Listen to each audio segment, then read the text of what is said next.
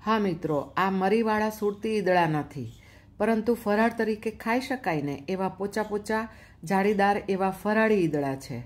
ઉપવાસ કરતા હોય ને ત્યારે આવા ગરમ ગરમ સ્વાદિષ્ટ ઈદળા જો ખાવા મળી જાય ને, તો પેટ પણ ભરાઈ જાય અને કંઈક નવી વેરાયટી ખાધી એવું પણ લાગે.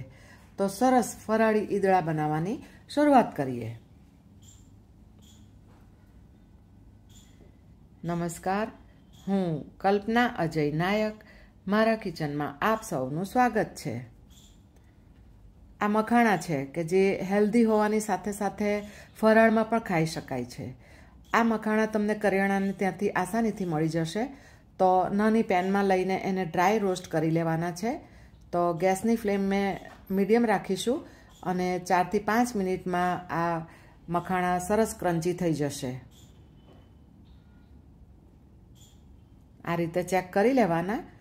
તો હવે ગેસ બંધ કરી દઈશું અને એને ઠંડા થવા દઈએ. હવે મિક્સર જારમાં એક કપ મોરિયા રાઈસ, એટલે કે સામા રાઈસ લઈશું, કે જે તમે ઉપવાસમાં ખાઈ શકો છો. ત્રણ ટેબલ સ્પૂન સાબુદાણા લઈશું અને ત્યારબાદ રોસ્ટ કરેલા મખાણા જે છે તે ઉમેરી દઈએ. અને ઝીણો રવો હોય ને, આપણો, એ ટાઈપનું ક્રશ કરી લેવાનું છે. અને એને મિક્સિંગ બાઉલમાં લઈએ. ઈદળા ખાતી વખતે કોરા કોરા ના લાગે એટલા માટે બે ટેબલસ્પૂન તેલનું મોણ અને બે ટેબલસ્પૂન ઘટ અને સાધારણ ખટાશ હોય ને એવું દહીં ઉમેરીશું.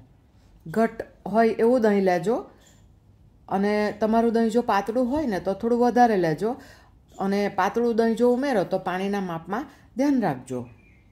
તો આ રીતે મિક્સ કર્યા બાદ હવે પાણી ઉમેરીશું. તો આ અડધો કપ પાણી લઈએ.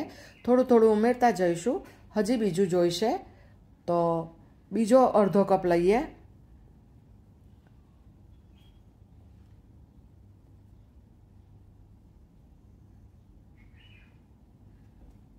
તો આ રીતે બીજો કપ પણ ઉમેરી દીધું છે, એટલે કે અડધો કપ બે વાર, એટલે કે ટોટલ એક કપ પાણી ઉમેર્યું છે. અને આ રીતનું મિશ્રણ તૈયાર કરીને ઢાંકીને પાંચથી છ કલાક એને રેસ્ટ આપીશું.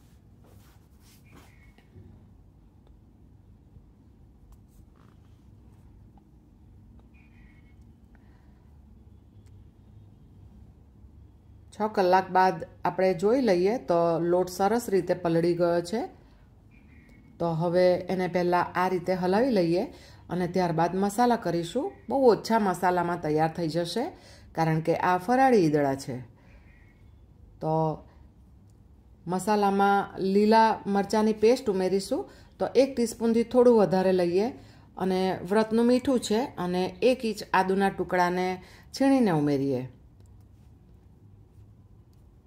અને આ રેસીપીના અંત સુધીમાં તમે વ્રતમાં જે ઇન્ગ્રેડિયન્ટ નહીં ખાતા હો ને વ્રતમાં, એને સ્કીપ કરજો. અને આ મિશ્રણ તૈયાર કરવામાં મારે કોઈ એક્સ્ટ્રા પાણી એડ કરવાની જરૂર નથી પડી. તો આ ઈદળાનું મિશ્રણ હવે એકદમ રેડી છે.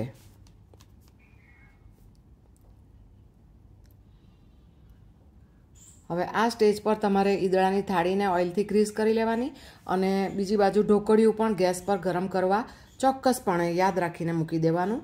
અને એક ટીસ્પૂન ઈનો ઉમેર્યો છે અને એને એક્ટિવેટ કરવા માટે એક ટેબલસ્પૂન પાણી ઉમેરીને એક જ દિશામાં હલાવી લેવાનું. અને ત્યારબાદ એને આપણે ઢોકળાની જે થાળી ગ્રીસ કરી લીધી છે ઓઇલથી, એમાં ઉમેરીએ અને ઉપર મરી પાવડર સ્પ્રિંકલ કરીશું. અને ત્યારબાદ અગાઉથી ગરમ કરવા ઢોકળિયું ગેસ પર જે મૂક્યું છે, એના ઉપર મૂકીને મીડિયમ ફ્લેમ પર આપણે બારથી તેર મિનિટ સુધી આ ઈદળાને થવા દઈએ.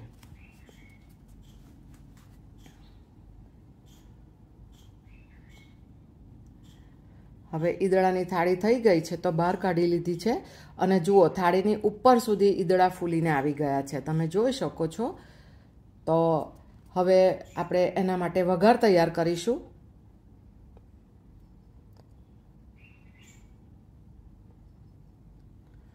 ગરમ ગરમ પોચા પોચા વરાળ નીકળતા ઈદળા સરસ તૈયાર થઈ ગયા છે. તો વઘાર માટે તડકા પાનમાં આપણે ત્રણથી ચાર ચમચી તેલ લઈશું. તેલ ગરમ થાય એટલે બે ટીસ્પૂન સફેદ તલ, ત્રણ આખા લીલા મરચાં કટ કરીને ઉમેરશું અને ફ્રેશ કઢી પત્તા એડ કરીશું. અને આ વઘાર એડ કરીએ ઢો, ઈદળા પર. એના પહેલાં આપણે ઈદળાને કટ કરી લઈએ.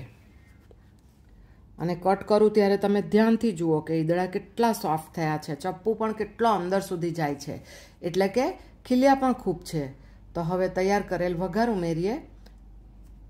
અને તમે વ્રતમાં કોઈ નવી વાનગી બનાવતા હો ને તો મને કોમેન્ટ બોક્સમાં જરૂરથી જણાવજો. અને તમે રસોઈ કળા કોની પાસેથી શીખ્યા? એટલે કે રસોઈ કરવાનું મમ્મી પાસે ભાભી, બેન, સાસુજી, ભાભી, ફોઈ, મામી, માસી કોની પાસેથી શીખ્યા એ પણ લખજો.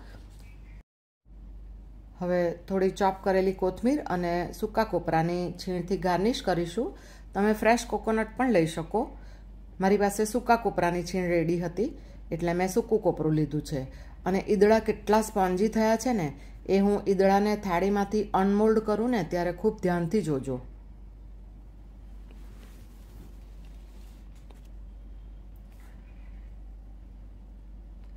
જોઈને જ ખાવાનું મન થઈ જાય એટલા સરસ આ ઈદળા બન્યા છે. વાવ. કેટલા સરસ ખીલીને ફૂલી ગયા છે, જુઓ. અને સ્પોન્જી છે એકદમ. તમે કાંટા ચમચીથી લો ને, તો ખ્યાલ આવશે કે કેટલા સોફ્ટ પણ થયા છે. તો હવે સર્વિંગ કરીશું આપણે.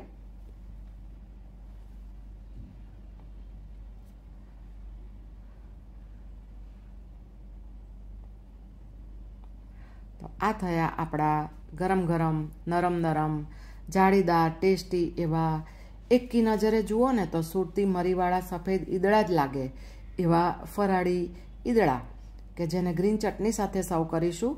અને આ ચટણીમાં મેં થોડી કોથમીર, આદુ લીંબુ અને લીલું મરચું તથા વ્રતનું મીઠું, બેથી ત્રણ આઈસ ક્યુબ અને ત્રણ નંગ આ તૈયાર કરેલા ઈદળા ઉમેરીને ક્રશ કરી લીધી છે. અને તમને જો રેસીપી ગમે તો વિડીયોને લાઇક અને શેર જરૂરથી કરજો અને એક કોમેન્ટ જરૂરથી લખજો. અને મળતા રહીશું આવી જ એક નવી રેસીપી સાથે. ત્યાં સુધી તમે તમારું અને તમારા પરિવારનું ચોક્કસપણે ધ્યાન રાખજો અને આવજો.